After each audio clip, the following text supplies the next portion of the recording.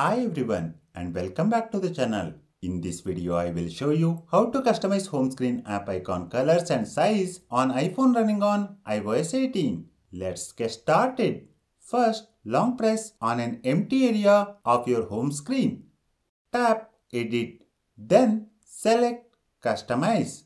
We get these customizing options. You can turn it on or off dark mode here. Next, app size. You can choose between small or large. You can see how your selection look in real time. Now, home screen app icon colors. You can choose from light, dark, automatic, adjust based on the wallpaper theme or tinted. You can also fine tune the colors using these sliders or select a color based on the wallpaper color. That's it for this video on how to change home screen app colors on iPhone running on iOS 18. Please hit the like button and subscribe to the channel if you find this video informative. Thanks for watching.